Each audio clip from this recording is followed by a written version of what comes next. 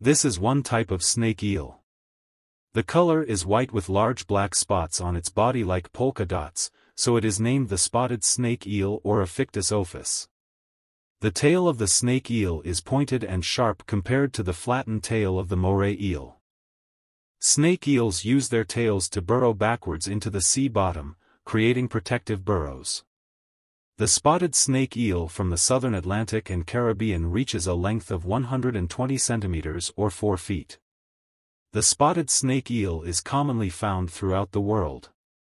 Mostly in tropical or temperate waters. These snake-like creatures are more docile than their aggressive relatives, the morays.